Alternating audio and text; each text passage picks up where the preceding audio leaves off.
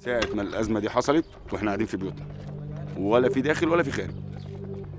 حتى التجمع اللي كنا بنروح نشتغل فيه باليومية لو حتى ما فيش بندور زي ما الناس بتقول لك انبش عشان تاكل ما قفلوها.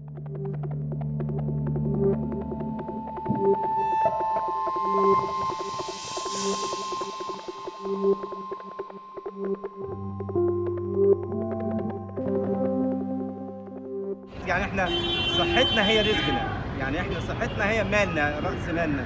نشتغل ناكل ما نشتغلش ما ناكلش. معروفة يعني.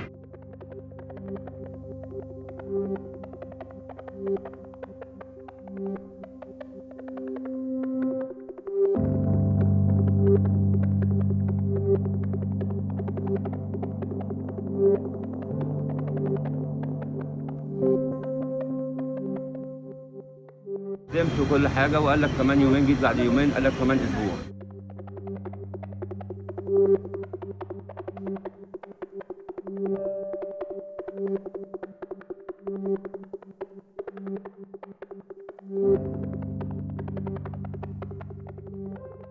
هو ده صح وكل حاجة بس آه، لو إحنا موظفين الواحد ما يطلعش من بيته أصلا أساسا لأن في مرتب آخر الشهر هياخده.